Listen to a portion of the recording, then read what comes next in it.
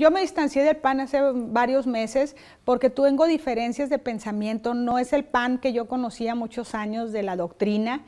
Y bueno, eh, la verdad es que ahorita, eh, hace muchos meses que renuncié, no pertenezco al PAN porque a veces siguen diciéndole, no, no pertenezco al PAN, estoy alejada de ellos por, por faltar de, porque me falta coincidir en muchas cosas.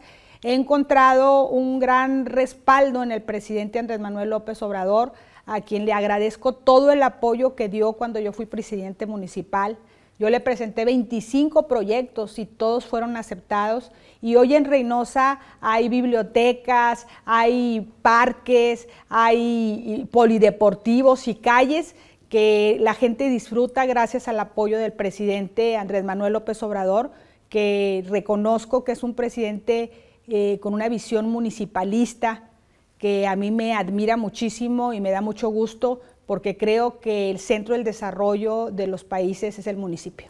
A mí, yo ahora que vengan los tiempos, porque tú sabes que esto es todo legal, eh, voy a tomar una decisión. Me gusta mucho, mucho, como te digo, la forma de gobernar del presidente Andrés Manuel porque es municipalista y yo coincido con él en muchas cosas.